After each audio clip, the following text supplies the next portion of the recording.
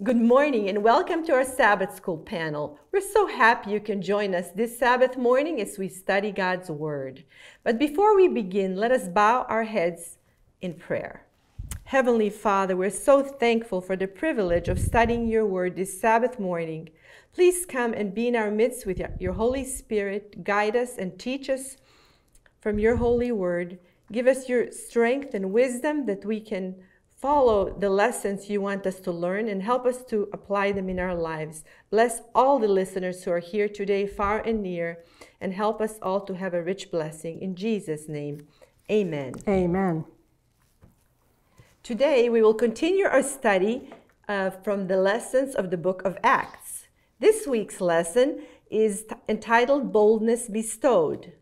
Today on our panel, we have Sister Barbara Montrose, Brother Livio Tudoroy, and myself, Lillian Ballback. If you would like to study along with us, you can find a digital copy of the Sabbath School lesson by visiting sdarm.org forward slash publications. You can also find it in the Apple App Store and the Google Store by searching SDARM. Right now, we're going to begin studying the review lesson real unselfishness, and this will be taken by Sister Barbara. So, as you recall, we had spoken last week about real unselfishness. Now, why is it called real?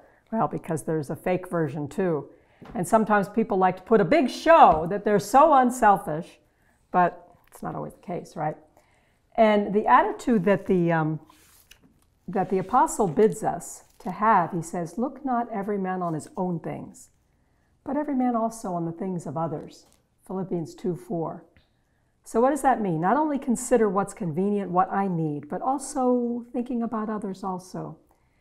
And the, uh, the lesson brought out last week when those who profess the name of Christ shall practice the principles of the golden rule, the same power will attend the gospel as in apostolic times. And we want that apostolic power, don't we? We want to have the, the power of the Holy Spirit being poured out in abundant measure. And I was impressed last week as we were thinking if we're not getting that power the way it's promised, then it might be because we're not practicing the golden rule and its principles as, as we should be. So that's something for us to think about. So the lesson brought out a little bit about divinely inspired charity, and it talked about, we were reading from, in Acts chapter 4, about the sincere charity of the early Christian church. Um, I wonder if, if you can help us with that, Sister Lillian, a little bit. Uh, Acts chapter 4, at least verses 34 and 35. Those two verses say it very well. So basically, in those days, many believers were added to the church. They came from different nationalities, different economic backgrounds. And as they accepted the new faith, many of them were disowned by their families. So they had nowhere to live. Maybe they didn't have a job. They didn't have food. And so there was necessity uh, at this time for everyone to contribute. The people were selling their lands, they were selling their properties, and putting all the money into a huge fund that was meeting the needs of these new believers. And people were doing this very, very generously from a heart full of love. And it was so good here that it said uh, that there was not anyone who lacked anything. And they sacrificed cheerfully to meet the emergency. It was not a grudging thing. So it was really an example for us of true liberality, true love for our brethren. Exactly. Thank you for that. And, and that's the real key. There was a real need. It wasn't just throwing money in the air, saying, "Well, I don't need this, whatever." Mm-hmm. But there were people that really needed something, so they were willing to say, "Okay, this is mine, but it's not mine. It's it's needed. It's mm-hmm. it really belongs to God." Mm-hmm. And so it, it mentions in the Bible, neither was among any of them that lacked, and as many as were possessors of lands or houses, if they had things, they sold them and brought the prices of the things that were sold and laid them at the apostles' feet, and distribution was made unto every man according as, as he had need. So uh, the reason for this is that their love for the brethren and the cause they espoused was greater than their love for mon- money and possessions. And I wanted to, again, because this kind of thing is often twisted and misunderstood in, in, in the last days. Um, we need to understand, for example, and we read this last time, but I wanted to read it again. Christ Object Lessons 247. It says, The Lord does not require the hardworking man to support others in idleness. Mm-hmm. With many, there's a waste of time, a lack of effort, which brings to poverty and want. If these faults are not corrected by those who indulge them, all that might be done in their behalf would be like putting a treasure into a bag with holes. Mm-hmm. So that's a very serious warning, isn't it? You don't just give something because somebody says they want it. Yet there is an unavoidable poverty, and we are to manifest tenderness and compassion toward those who, who are unfortunate. We should treat others just as we ourselves, in like circumstances, would wish to be treated. Mm-hmm. So that's the key. That's the key. We need to have discernment, and then as we have the Holy Spirit, we will have more and more discernment in these things. It's the true. next, yeah, go ahead. Yeah, it's true. These days, you know, there are many people who are just waiting for handouts. Yeah. And they're not willing to work you know they have opportunities to get a job they're not willing to do that and they're just expecting others to provide for them so we have to be wise to help those who truly need it who are diligent and encourage them to work exactly and and we ourselves have to be among those that jesus says six days shalt thou labor exactly. and do all the work and and uh, it says if a man shall not work he won't eat mm-hmm. you know so all these things are important so they had this love for one another in the early church, and they were willing to lay down their lives for the brethren. And um, it mentioned that money, time, influence, all the gifts they had received from God were viewed as a means of advancing the work of the gospel. And this is something that should be our priority in these days. Um, we need to be willing to make sacrifices in order that others can hear the gospel. So, one of the examples of people that had um, had given generously for the work of, of the gospel was a man named Joseph, who by the apostles was surnamed Barnabas, which being interpreted the son of consolation. He was a Levite in the country of Cyprus. And he had land, he had some extra land, he sold it and brought the money and laid it at the apostles' feet. Now, later on, we see in the book of Acts some more about Barnabas. And he's a very inspiring individual because he was very missionary minded. Mm-hmm. And so he just, he saw the need. He was happy to do. He said, hey, I got this piece of land and I'll just donate it for this, for this distribution to be made, as you were mentioning. And his, heart, uh, his motives were pure. His heart was sincere in that. And then we saw another case that maybe wasn't quite as much from the heart. But nobody would have seen this from the, out, from the outset. Um, and what happened? It mentions a certain man named Ananias and Sapphira, his wife, sold a possession. Okay, they sold it. Now, they had thought about this a little bit and they were impressed because they saw this happening they saw the progress that was be made, made, being made as people would donate. And so they said, hey, let's do this. Well, now there's a very serious point here for us to remember. Sometimes people will go to an altar call. Mm-hmm. You know, they'll go to a, a sermon where there's an altar call made, and they'll go to the front and they'll say, I want to take my stand for the Lord. And then they think about it afterwards and say, well, I need to count the cost of this because if I if I really do all the things that this church teaches and it's really in the Bible, I've seen it in the Bible, but um, if I do all those things, then uh, this and this, you know, consequences, uh, you know, things might be not so convenient, not so easy for us.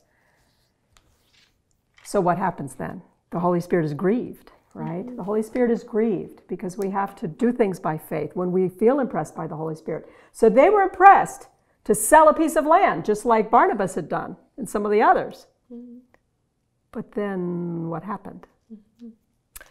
Uh, feelings of covetousness came in and they had regret, you know, when they realized how much money was involved and you have the money in your hands, you have actually sold the property. Mm-hmm and you think, wow, I think we really made a mistake, you know. So they thought we were too rushed in our decision. Let's just give part of the money, we'll keep some to ourselves, and then we can still go to the general fund where everybody's collecting and we can get some extra for ourselves. So they committed, committed two or three sins, one after the other, Exactly. after they had chosen to sin against the Holy Spirit. It's a very serious thing. Not only do we make one mistake, but you have to lie and you have to cheat so you can cover yourself for the first mistake. Yeah, it just doesn't work. It gets, like you say, it goes down a slippery slope. And the big problem was not just to have a little more cash in the pocket. I mean, yeah, you sell, sell a piece of land for $10,000. And then they think, well, maybe I was being a little extreme. That's what the person all of a sudden thinks. But in this case, it wasn't just cash in the pocket, it wasn't just a little bit more money. The real thing is that it says they saw that those who parted with their possessions to supply the needs of the poorer brethren were held in high esteem among the believers. Oh, it's prestigious to do this. Mm-hmm.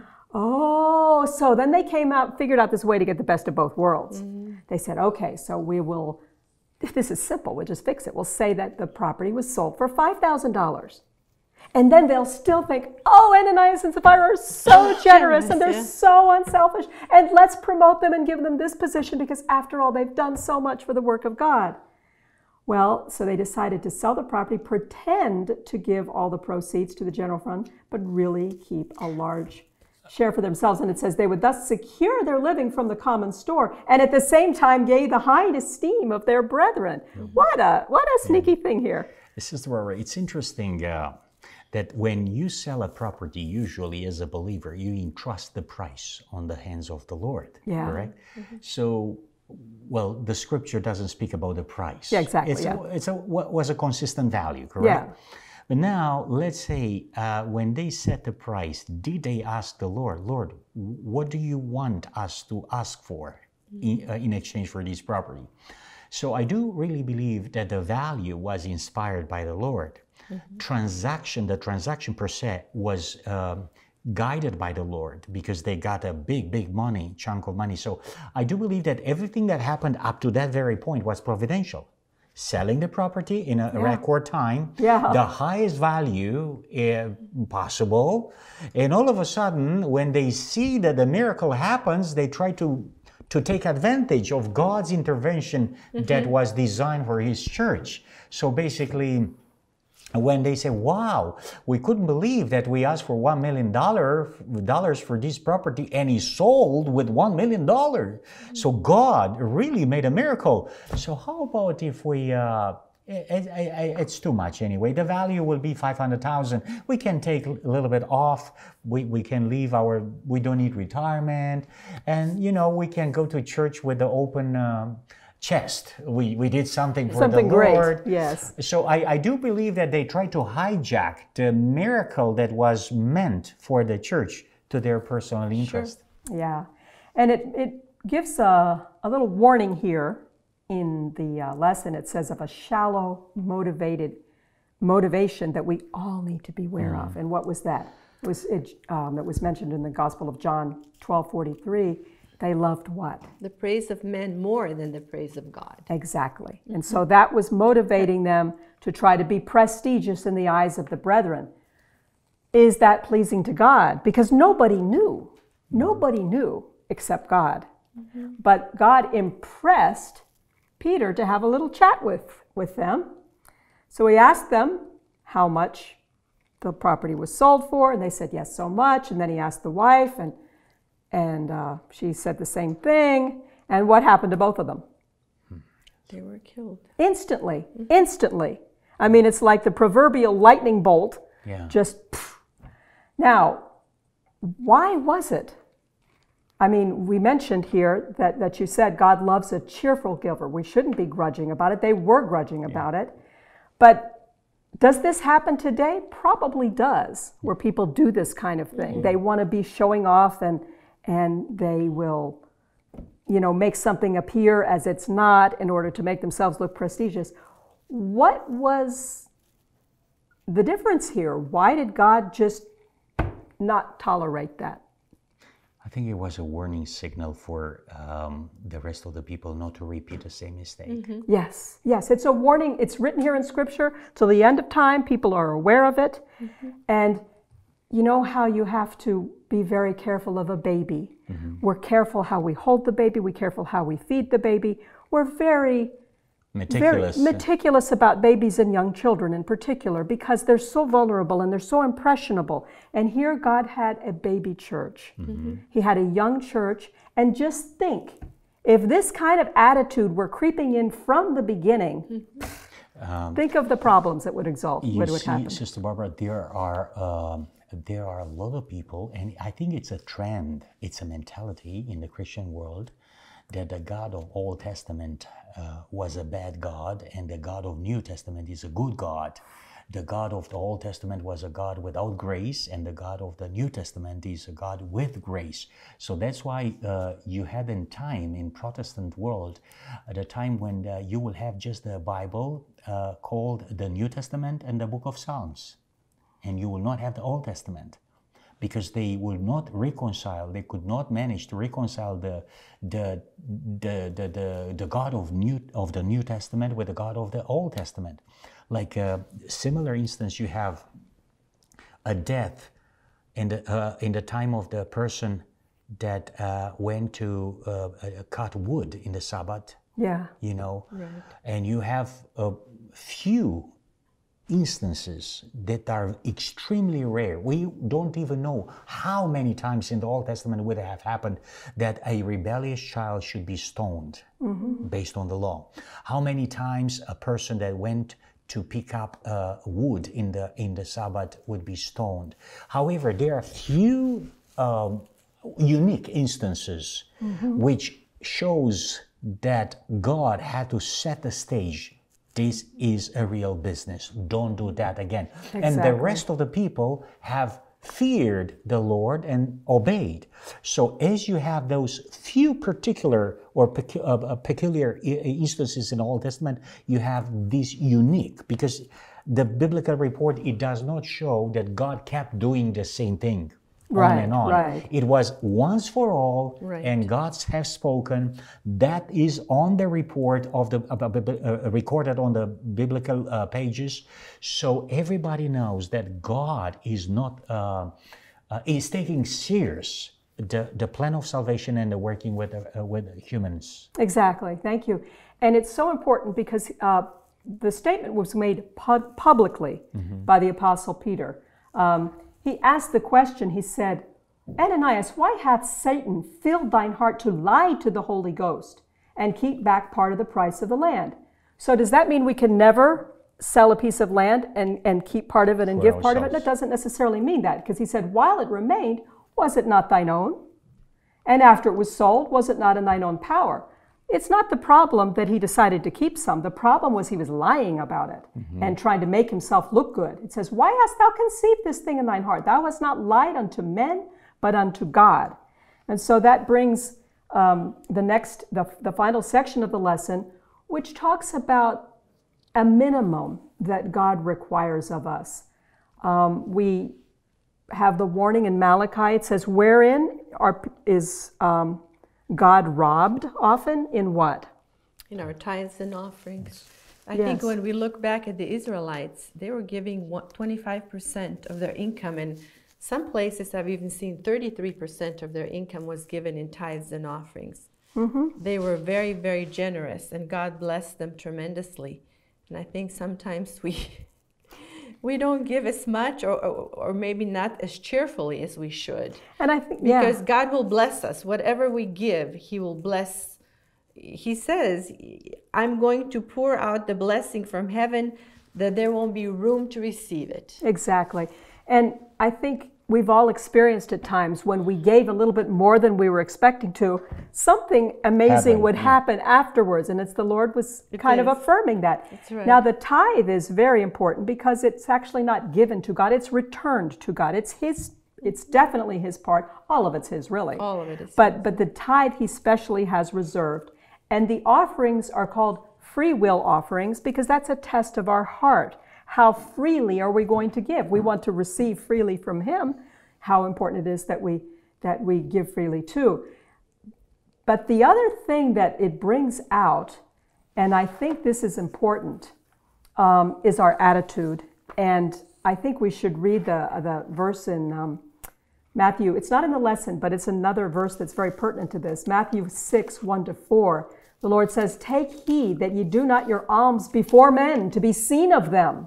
Otherwise ye have no reward of your Father which is in heaven. Therefore, when thou doest thine alms, do not sound a trumpet before thee, as the hypocrites do in the synagogues and in the streets, that they may have glory of men. Verily I say unto you, they have their reward. But when thou doest alms, let not thy left hand know what thy right hand doeth, that thine alms may be seen in secret, and thy Father which seeth in secret himself may reward thee openly. So, this is the lesson we learn from this that Ananias and Sapphira, they were eager to be seen, they were eager to have a high position and uh, to be um, praised by people. No, this is not going to get us anywhere in, in, in, the kingdom of heaven. Um, it mentions also that the point about vows. Mm-hmm.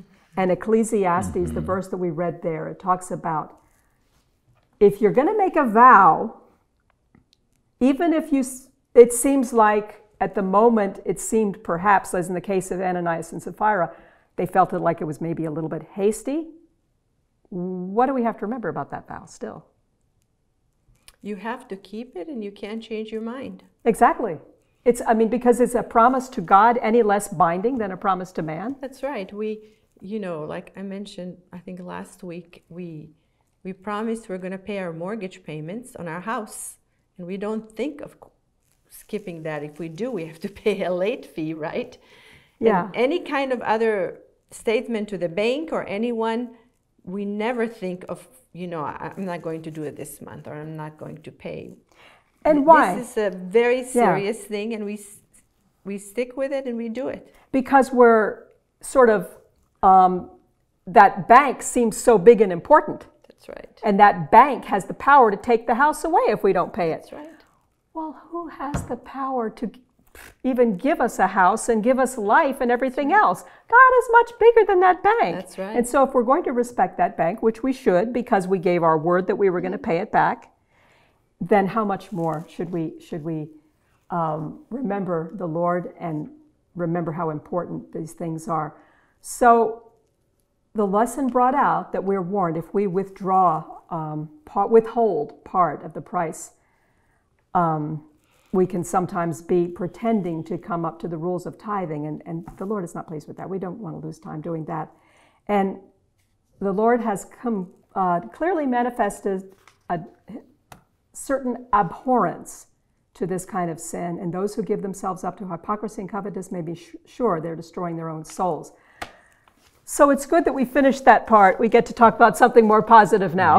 yeah, yeah, yes. Certainly, uh, what is what is very important for us as a conclusion is that when we promise something yes. to people or to God, mm-hmm. we should be consistent with our yeah. statement. Yeah. In Jeremiah 34 16, uh, you know, the Lord had a problem with the people of Israel in regard to taking uh, slaves from their brothers and sisters enslaving their own brothers and sisters. And then the Lord intervened through his uh, prophets and those that were um, um, learned in the law. And it says it's not supposed that we should take our brothers and sisters in, in, in slavery, in bondage. And, and the Lord says, but then you withdraw your statement. You, you, you change your uh, attitude and you dishonor me before the entire nations around. So I think it's a pretty ugly situation when we when we promise something to the Lord and and then change our minds. It shows it shows how much respect we have towards this entity that is called Jesus and our heavenly Father. Amen. Thank you. Thank you, Sister Barbara. Now we're going to move on to the lesson of the day, boldness bestowed. We will ask Pastor Livio to take over. Yes, good morning, uh, brothers and sisters, friends, ladies and gentlemen. It is a great privilege to study the Word of God again, uh, continuing our journey in the life of the disciples, the life of those uh, apostles. In our lives as well, the life of Christians that really, really profess to follow Jesus. Definitely, a boldness bestowed. Uh, it is a very, very interesting and non conventional title for today. So, I do really believe that uh, we will have a good time, especially having Sister Barbara and uh, Sister Lily together. And all of you, even though we don't hear your comments, we do really believe that uh, you can uh, you can help us in that respect. So now, as we proceed, uh, memory text. Uh, Sister Lily, would you be so kind to introduce the key text of our uh, subject, and Sister Barbara, the the note from the Spirit of Prophecy. And daily in the temple in every house they cease not to teach and preach Jesus Christ. Let the people understand that you have a message that means life, eternal life to them if they accept it. If any subject should enthuse the soul, it is the proclamation of the last message of mercy to a perishing world. Ah, it's interesting. So uh, we are not uh, Methodist because we don't try to do evangelism by promising the people the burning flames of the inferno. Yeah. You know, so there were times in the history of, of, of Christianity where fear factor was a, a major uh, trigger for so-called conversion of, of, of humanity. Mm-hmm. But looks like um, the message that we have as a last generation, it's a message of hope, a message uh, in which mercy appeals to the heart mm-hmm. of the individuals without trying to persuade or inflict fear as a major element of decision. Because oftentimes we take decisions based on fear, and you can notice that when fear disappears, uh, we go back to square one.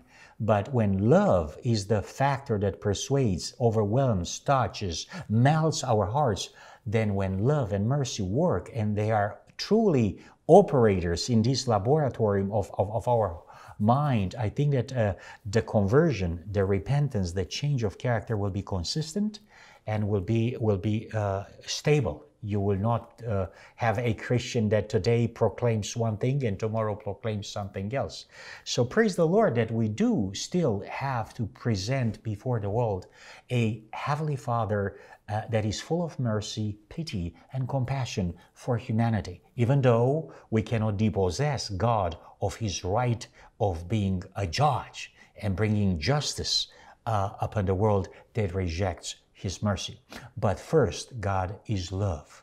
And then, in the same proportion, God is just. So let us go on Sunday to proceed in our subjects. Uh, all on the altar. Uh, this lesson continues on the um, on the connection or the, the chain, the link of the last lesson with Ananias and Sapphira. And that's why the first question is still uh, uh, triggering the, the, the dwelling upon Ananias and Sapphira situation. How did the judgment upon Ananias and Sapphira affect the, the believers? Uh, obviously, there was an impact, correct? Right. When, when God intervened in such a bold manner. Actually, I would say that this type of death is very similar with uh, Uzzah. Yes, yeah, Uzzah, that know, kind of thing. Very sudden, uh, no time for the second thought uh, wow, it, it is amazing. And that really terrified, even though we talk about the church of love, correct? We, you, we, we were in the first century, and first love was there, as we will see in the disciples, amongst the, uh, in the life of the church and the life of the disciples. And yet, beside love that was uh, prevalent amongst the Christian members of the first church or early church, you see this thunder, woof, all of a sudden intervention of God in the church of love. Yeah. So oftentimes we have this nostalgic, uh, uh, I would say, uh, irrealistic imagination about, oh, we should be like the church, uh, like the early church, when love was all over. Well, love was all over. And yet you have a case of Ananias and Sapphira. right. So you talk about the church that has love, but you don't talk about the absolute 100% perfection. Yeah. Because these people were members of the church and they were donating. How many people we, do, we have today that donate uh, to church uh, to have a say in the decisions of tomorrow? You know, there are members that have financial uh, establishment, and they will say, "Well, I will make a, a, a good, consistent donation." If somehow, brother, do you think that we can change this resolution or that resolution, or make uh, may shift this decision for the church? Like, I don't like the parking lot here. I like the parking lot here. If I give fifty thousand dollars, do you think that I have a say in that? So even today, we do have this type of behavior. Uh, people that are wealthy, established, they would like to give money with the condition to be a little bit the gurus behind the curtain. And even though they are not seen in the front uh, page of the newspaper, they would like to influence the destiny and the direction of the church based on how much they give and how much they not give. So here is a warning. I, I try to be as realistic as possible because that's why we learn. Yeah, and lessons. that's bribery, really. That's it- a form it- of it is- bribery. it is a form of, and, and we see that in the political arena in the 21st century. You know, governments are bribed, uh, institutions are bribed, and and you know this is the first step because when you bribe an authority, then you lose that authority by default. So you bribe a government, and that government loses its power, and then you become a puppet institution. And then when you lose your influence and you lose your power, you will be basically persecuted because you, you, will, you are used and then you are removed.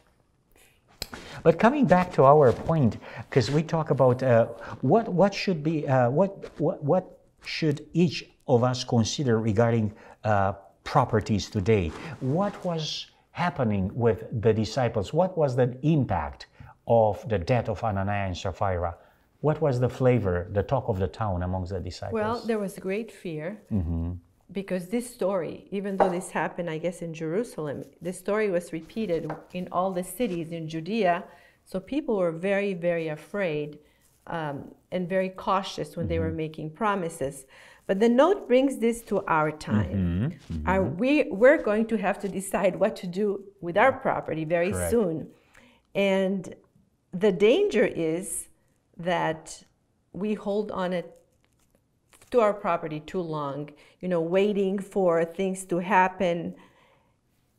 And uh, when it may be later, too late, when the Sunday law is passed and we're not able to sell our property. So it gives us a few steps.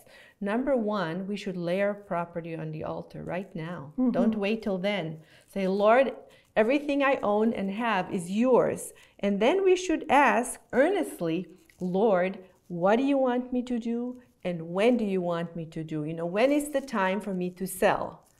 And get rid of this property so we can use that money to spread the gospel. And it says if we do that, he will show us exactly what to do. If we don't, we will keep our property and it's going to be too late. Like some of the people in 1844 who did not follow that, you know, when they wanted to give their property, it was too late and they they were very very sorry, but the Lord couldn't use their money anymore. It's interesting that we are living in a Christian society or culture, Christian culture, because there is a difference between uh, a Christian culture or Christian society and, and a Christian church and Christian values or uh, Christian Bible beliefs. You know, it's, it's kind of a difference uh, in between these uh, sections. But today we're living in a society where everybody is obsessed to buy. And Yeah. we, we're talking about uh, the, the time when we have to sell. Well, some of us have something to sell, some not. However, the idea of uh, buying or purchasing today, uh, especially amongst us with this crisis, everybody wants to go to the mountains. Everybody wants to go to, and, and it's a legitimate move to get out of the cities. So uh, the preoccupation of our members is to find a land, a piece of land where they can do agriculture and go away from the, the, the, the fury of the mob and the crowd and seeing the, the, the, the penalty that already the Lord is displaying on the uh, uh, big cities of, of, of, of- of, of the world, uh, which are the citadels of immorality. You know, mm-hmm. we do have this obsession of going out of the city and buying a property that will last for a while. Mm-hmm. So, how can we reconcile the desire of the Lord for the people of God to get out of the cities. And I don't want to extrapolate the subject, but it's kind of interesting. It you know, we are into a, a phobia uh, of getting out of the cities because of legitimate reasons. It's because of the advice of the Lord. But in the same time, we have this obsession to buy something, and we see that the market is no inventory. You? Right. Exactly. Can I Yeah. say something? Yes, please, please, You know. I was I just was reminded of, of, of some quotes that I was reading recently. Like you say, we're obsessed wanting to get a country property and land and all of this. And I read an interesting observation. She says, You don't need 100 acres. Correct. She says, You need 20. And God will bless your 20 to produce as much as 100. Wonderful. It's like, why do we need these enormous amounts of pieces of land? Because she says the more you have, The or the more you have many properties, the more you're going to have to work, the more you're going to have to get rid of later on. Yes. It's going to be a burden. And here it says it's going to be like a mountain to crush us.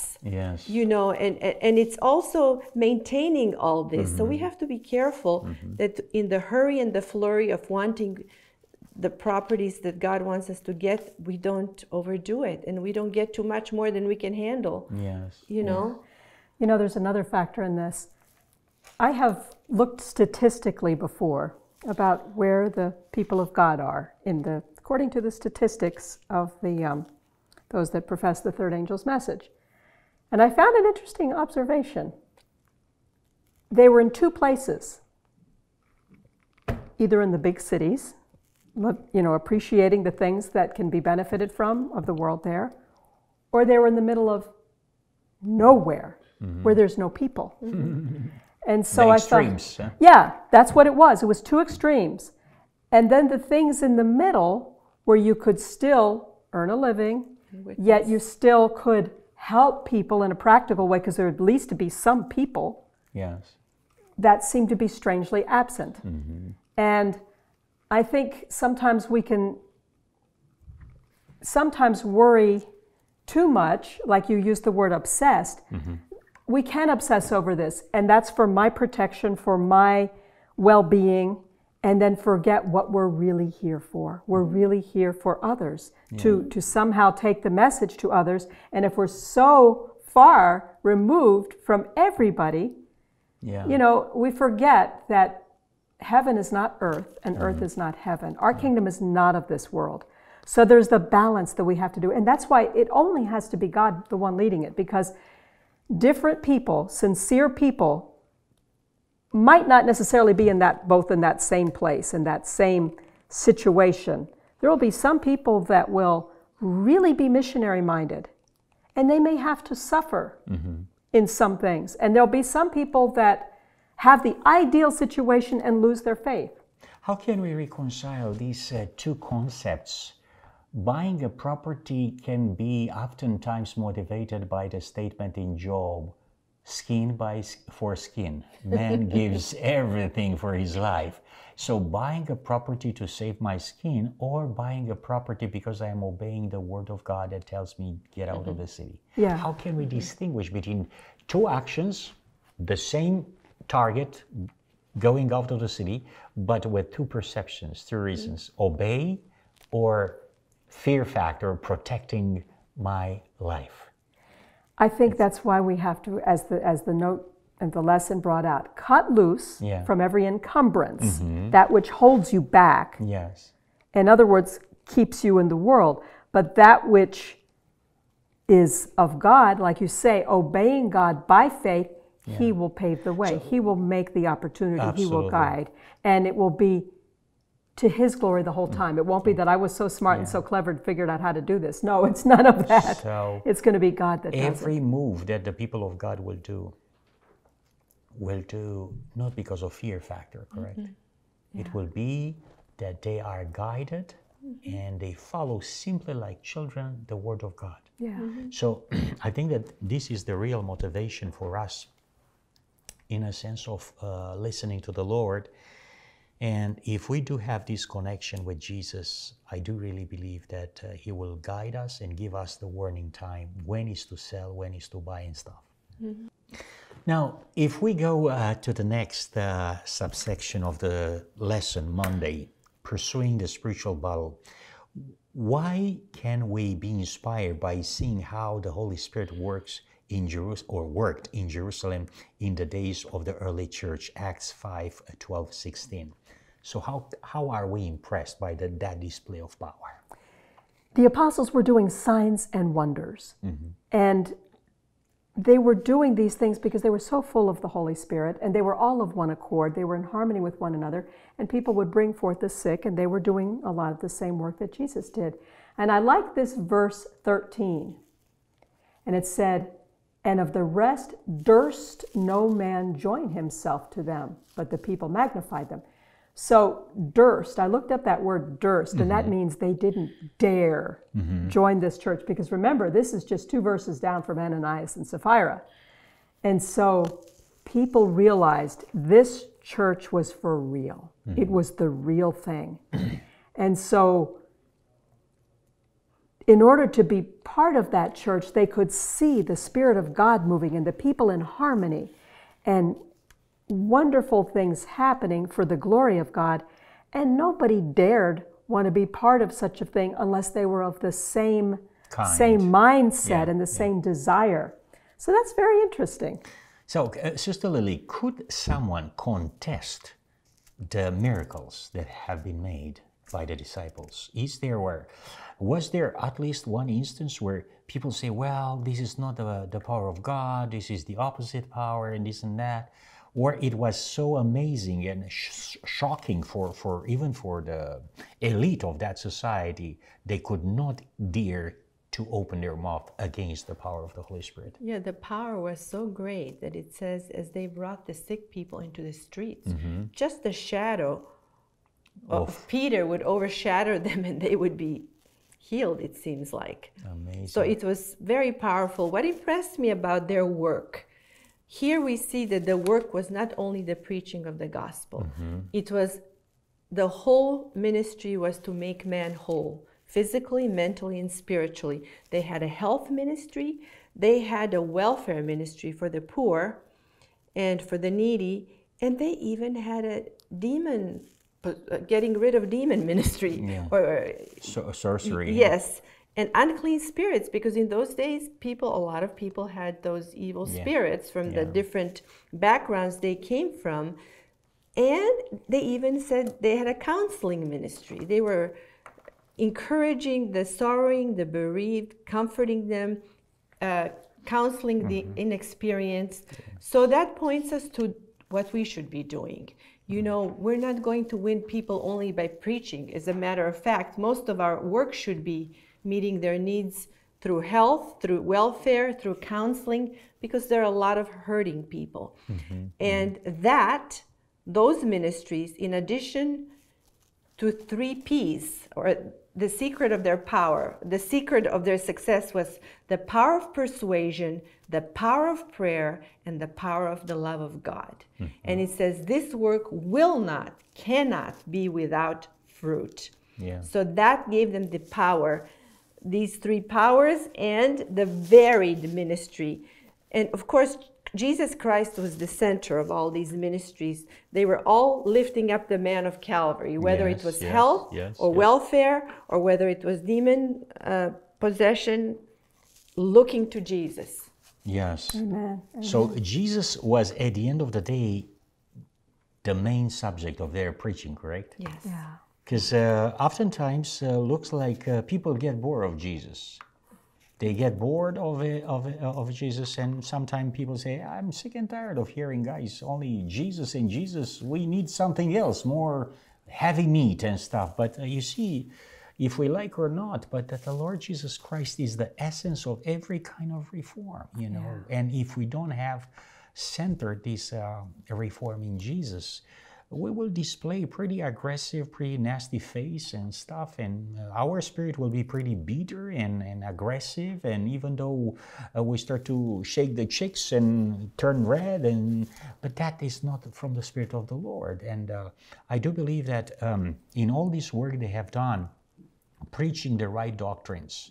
And don't forget, uh, uh, brothers and sisters, and uh, dear friends that are watching, you know, the preaching of, of the gospel in the time of Jesus Christ was not a, a, a message that was delivered to an idolater uh, um, uh, nation. Like, like, like they didn't worship uh, statues or icons. They Yeah. were Jews. You, you, you have the gospel preached in Jerusalem. So they didn't have statues or icons, but they had living statues they were worshiping. The rabbis, the priests, Yeah. they were, they were living statues. They, they were yeah. moving, walking statues, you know.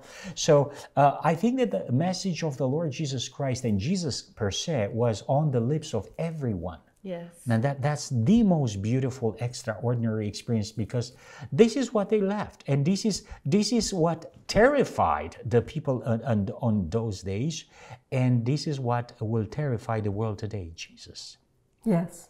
Yes. So the, the Jesus we were to present and that they presented was a practical Jesus. Mm-hmm. Yeah. A Jesus who heals, a Jesus who sets free from your problems, who has solutions.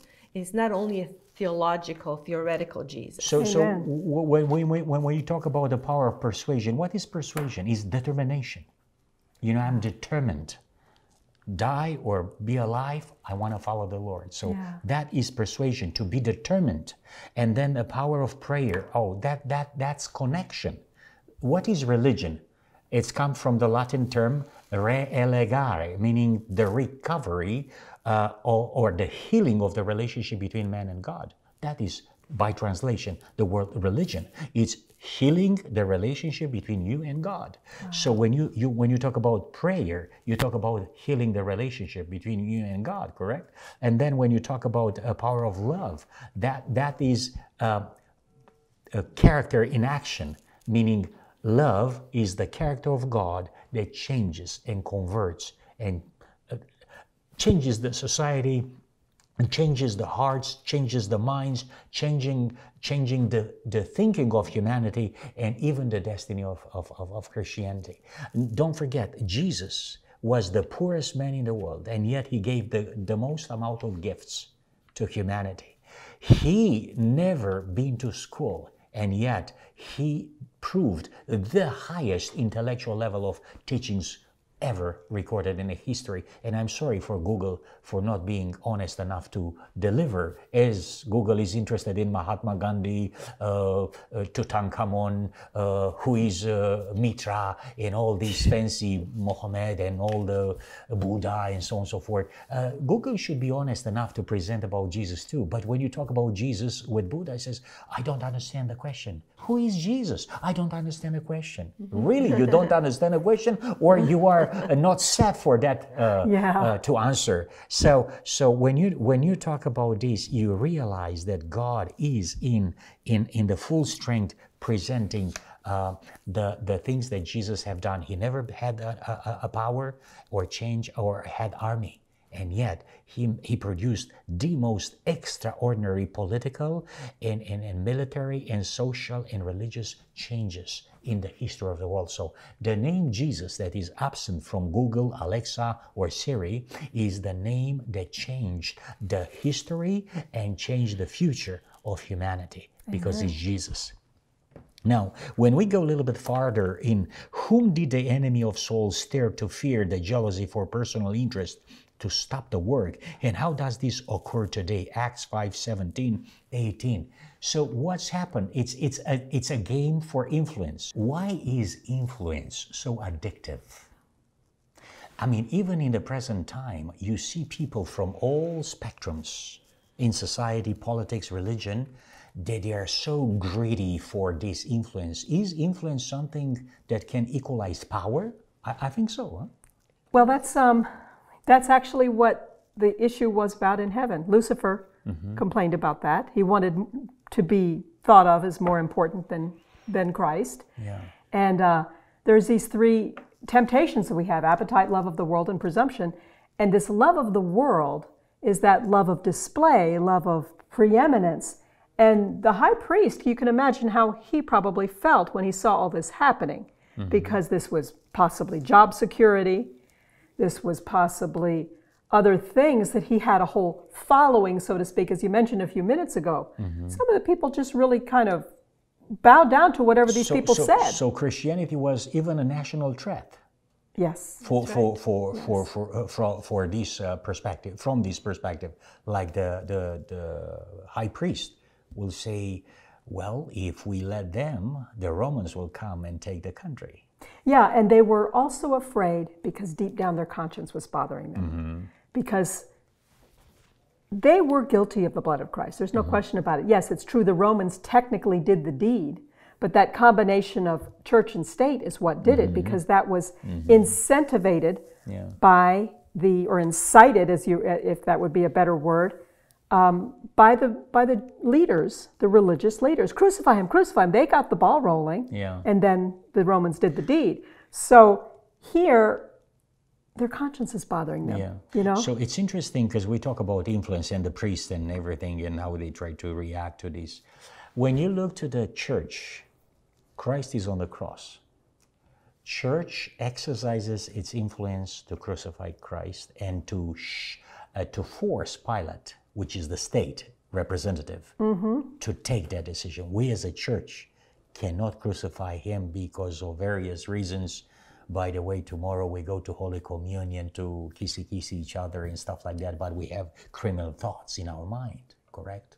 and then Jesus said to Judas, Judas, mm-hmm. betrayest thou the, man of, the Son of Man with a kiss? I With mean, a kiss, yes, exactly. we don't know This what's is- in the heart. Yeah. And if, if this good things are not in the heart, there's a problem. So my question is, who was stronger? Because we saw that the state didn't want to crucify Christ. They didn't find anything wrong with him. Pilate, Looking at it objectively, which is the state, the Yeah. Roman authority, d- was extremely hesitant to to crucify Christ. Yet, the power and the influence of the church was more powerful than the, the influence of the state. So when you look to the fight between the influence of the church and the influence of the Roman state, at the end, the influence of the Roman church, uh, the influence of the church has prevailed and made the Roman state to commit a crime, which was unforgivable, under the pressure of Judeo national church, correct? Yeah. So in the last days, when the people of God will be persecuted, because brothers and sisters, and uh, ladies and gentlemen and friends, you have to understand that these Bibles have a, a meaning and application for our days. When the church and state will collide to dispute the existence of the people of God, at the end of the day, they will de- they will decide if they have to crucify or expel or defranchise or wipe away the, the names of Christians in this world very soon. So, like in the time of Jesus, the church on earth will exercise a more powerful influence upon the state, and the governments will obey the church's decisions to erect and uh, eradicate the people of God like a scapegoat from planet Earth. So th- th- we, we learn this for a purpose, correct? Yes, exactly. We learn this not because it we, we, we, we are so much in love with what happened 2,000 years ago. We learn this because we are in a full speed repetition of the same scenario with the people of God, with the remnant of God in the last days. And uh, we hope that the Lord will give us wisdom and, uh, uh, and uh, serenity of our mind to decide. So uh, at the end of the day, what did they do? The priests, what did they do? What did they try to do to counteract their influence in Acts uh, 5, 17 and 18? They put them in the common prison. And uh, they laid hands on them, put them in the common prison. So, as if that would make a difference. But they weren't going to deal with it quite yet. But they were going to definitely get them out of the picture for a while here. But uh, they did that before and it didn't work. Correct? And now they try to persuade the same pressure and persecution, thinking that they may, uh, by intensifying the opposition, they may have a different result on the side of the disciples. But it didn't work that way, yes? Yeah. Now, when we go to Tuesday, because we're a little bit late, a divine intervention in action, and action. When the apostles were in prison for doing God's work, how did the Lord intervene, and uh, what uh, can we learn from these Acts 5, 19 and 20? What happened with the prison? Sister Lily, what do you Well, think? the angel of the Lord came by night. He opened the doors and set them free. And the Lord said, Go and stand and speak in the temple to the people all the words of this life. So do the exact opposite. Don't be afraid. Go with boldness and speak. uh, Yeah. in the temple, and that's exactly what they did. So when they saw them in the temple, they thought that it's a ghost. Huh? I mean, uh, we, we, we know that guy is in the cell. How come he's free, preaching with the same boldness? In in is somebody is betraying amongst us, or you know, because you can accuse everyone for such a conspiracy. Somebody opened the, the doors of prison. In any circumstance, they will not accept that the angel of the Lord will open the doors of prison. That will be conspiracy theory, correct? Yeah, yeah. But but but it's it, it- it's a factual it's a factual situation, you know, in a sense. Well, So they sent, um, you know, someone to bring them from the prison, and they weren't there. The guards were there. The prison was shut, but no one was inside. So the Lord had done a great job through His angel. so what was the narratives? Uh, what was the rhetoric that was put in the New York Times at that time?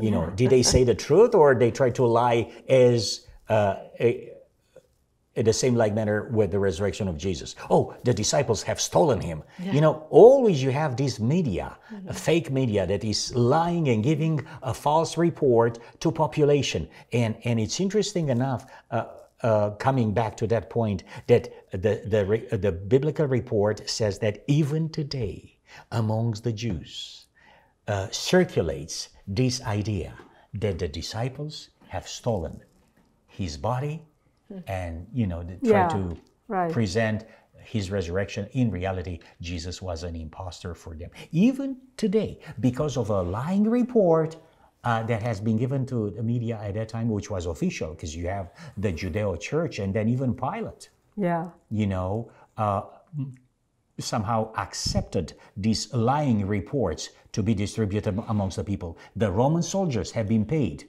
You know, tell tell them that Jesus died of COVID when he didn't die of COVID. Correct? He died of crucifixion.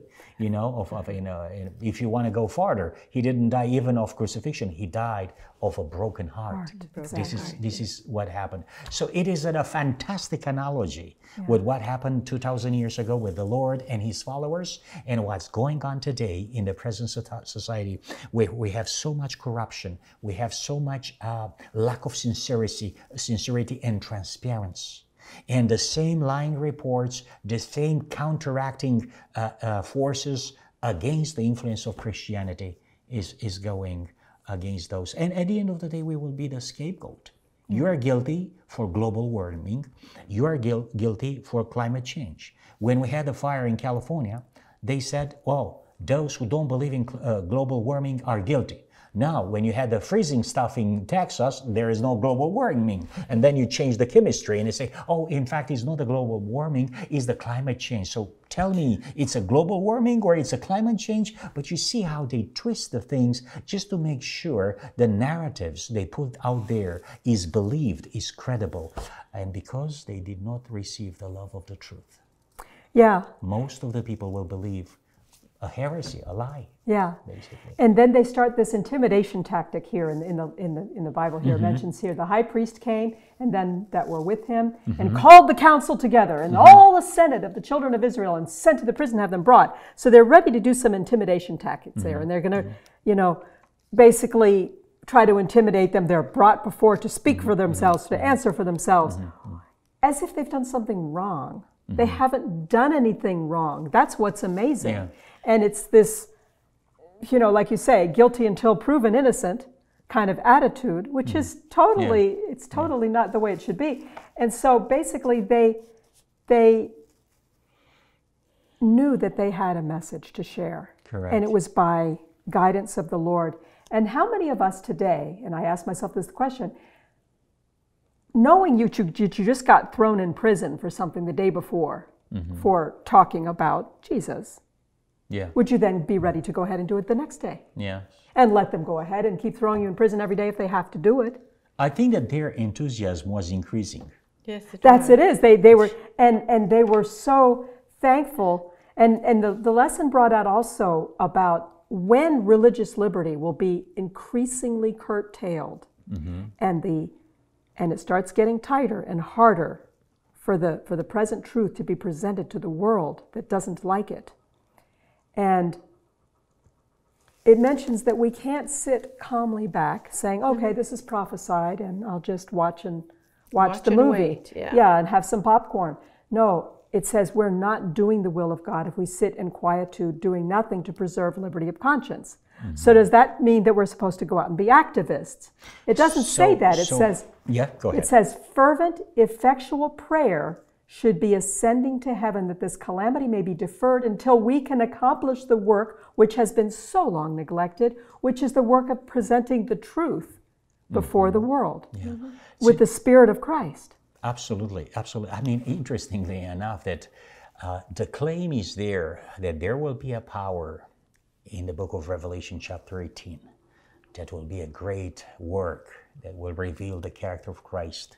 And I, I would love to be part of that movement. I would love to be part of that, that uh, action that is so united in Christ through the, the, the channel that is called the remnant of God.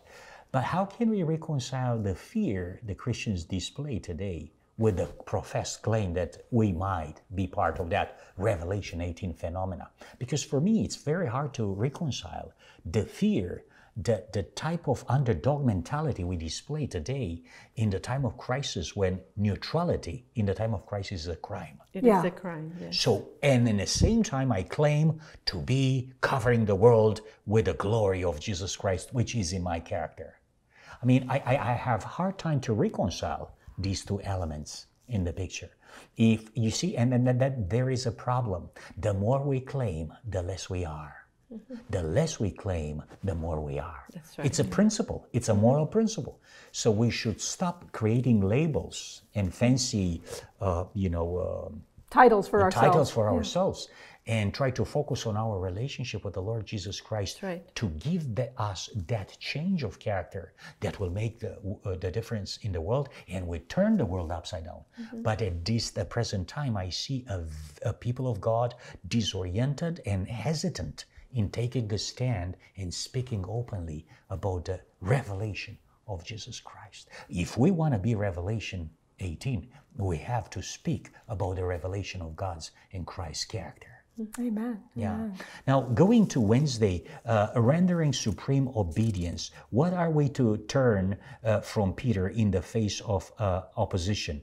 Acts 5 27, 29. So, what happened with Peter? Again, Peter, the P- Peter that was so afraid, Peter that was so, uh, you know, running away from uh, any kind of dialogue with that, uh, dialogue with that lady. Now, again, is Peter confronting them. What happens? It's very interesting. You know, they're talking to Peter and the other disciple like they're children. They say, Didn't we tell you or command you that you should not teach in his name? And behold, you have filled all Jerusalem with your doctrine and intend to bring this man's blood upon us. So they're telling them not to speak in the name of Jesus. And then they said, You want to accuse us of being the ones who killed him. But Peter said, uh, we ought to obey God rather than men.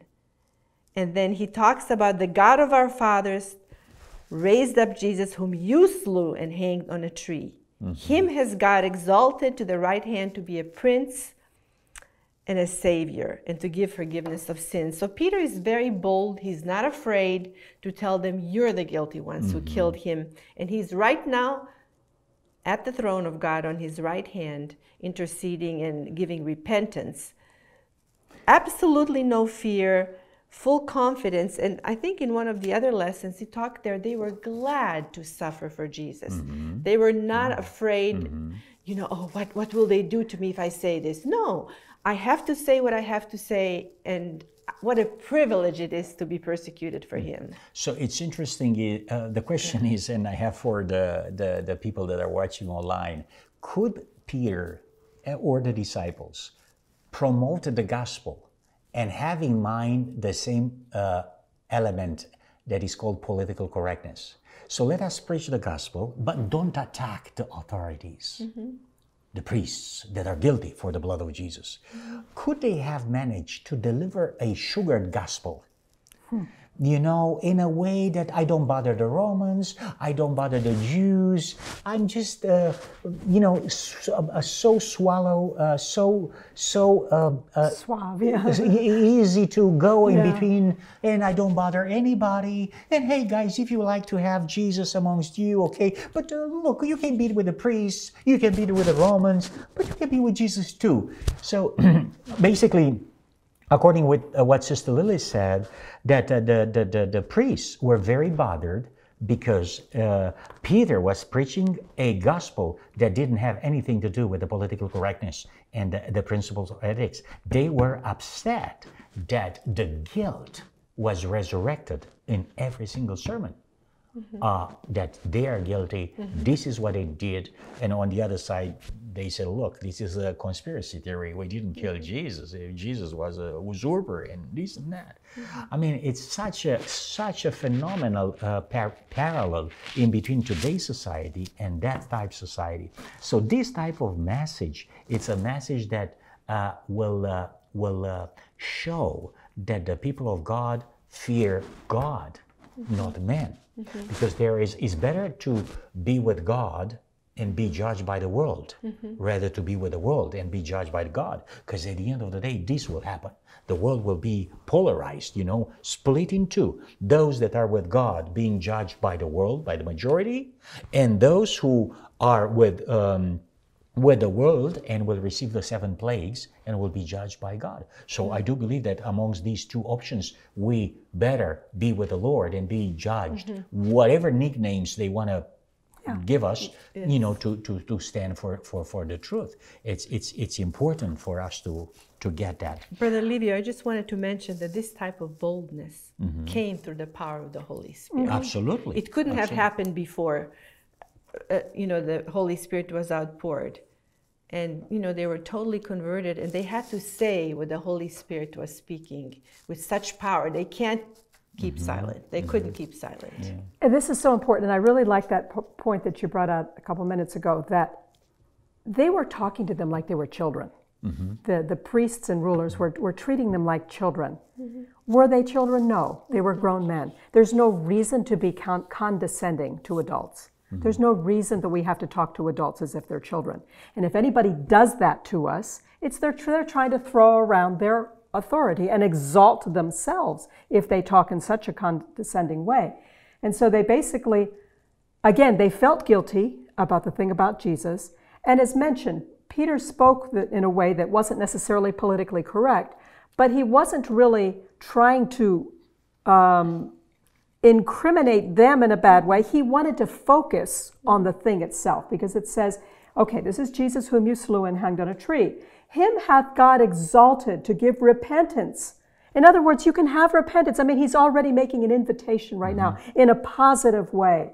It says, We're his witnesses. And so also, I like this verse, so also is the Holy Ghost whom God has given to them that obey him. Mm-hmm. There's the key. Mm-hmm. If people say they want the Holy Ghost today mm-hmm. and they want this power, unless they're going to obey God, well, first of all, by wanting that power, they're already breaking the commandment about coveting. And so we have to have that desire to follow God and obey Him. And when we have that, the Holy Spirit is able to use us as His instruments instead of us trying to manipulate the situation, condescend over other people, or have some kind of, you know, dubious power. And the lesson we'll bring out later more about when that was done erroneously by people with the wrong motives. And we've mm-hmm. already just finished talking about earlier from last week about mm-hmm. people that had wrong motives Yeah. and wanted power.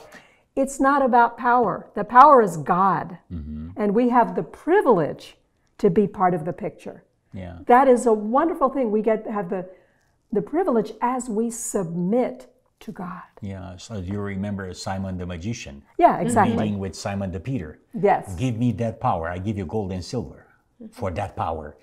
But uh, power, you see, power means God, as you said. So we cannot make God subject of our personal interest. And that's why I think that today it's a lot of business uh, around this uh, discussion. Uh, do, did you receive the power of the Holy Spirit? Did you get the power? Uh, I think I think uh, we are subjects of the influence of the Holy Spirit. not the Holy Spirit is subject of my influence.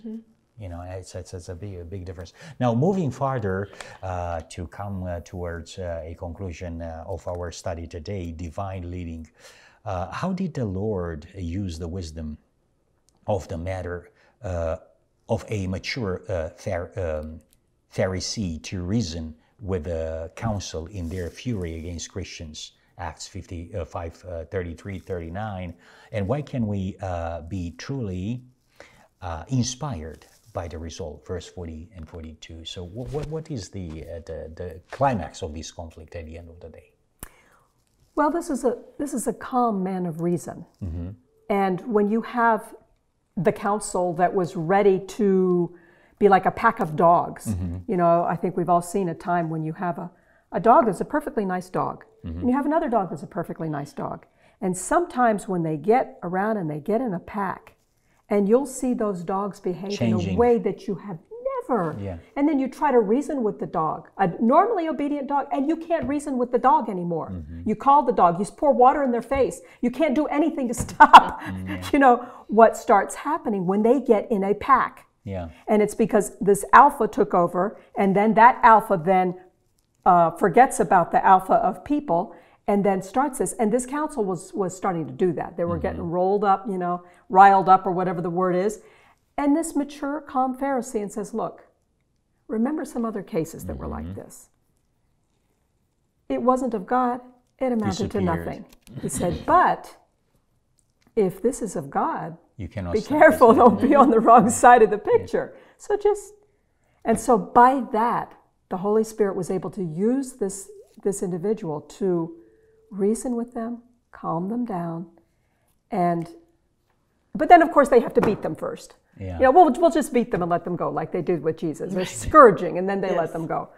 Okay, is that fair? No, it's not fair. But how did they respond? They were they rejoiced that they mm-hmm. were accounted worthy to suffer for Christ. Would we have this attitude? Mm-hmm. I mean, this is the way people are when they're fully under this, the inspiration of the Holy Spirit. Mm-hmm. They're pleased to suffer for Christ because there's nothing greater than to be following in His will. Correct, correct. Praise the Lord. I mean, I think that Gamaliel is Yeah. Gamaliel. It's a, it's a name. I don't believe that accidentally the Bible records his, His name. name, exactly. Honestly, uh, beyond the psychomaniac type of behavior that the Pharisees had, you see the integrity of this Pharisee, which shows that amongst them were still thinkers and people who later on received the Lord Jesus Christ. The fact that he was not impressed by their insane behavior. Do you remember when, when, when, when, when uh, they got together, the similar people, to stone Stephen? Yes. Yeah, same They thing. would Same throw thing, yes. dust in heaven and scream and Yes. do funny Like And they were things so righteous, yeah, they yeah, thought, yeah, yeah. Take away a Yes. man like this from the face stopped of the earth. Yeah. the- I mean, and, and and they have the same spirit today Yeah, in yeah. behalf of their self righteousness. Yeah. We have people self righteous today. Oh, people that will always behave like this. Always that people that are self intoxicated, self righteous, they will feel justified to hate, to change their color, the color of their faces, to scream at you, to accuse you, to, to shake, and to, to be full of anger in behalf of a holy uh, justification. And the Pharisees were the same. But Yeah. Gamaliel was led by a different spirit, Yes. which was calm, Yeah. Condescend, uh, being, uh, condescending, the, the, the, the, the mature thinking.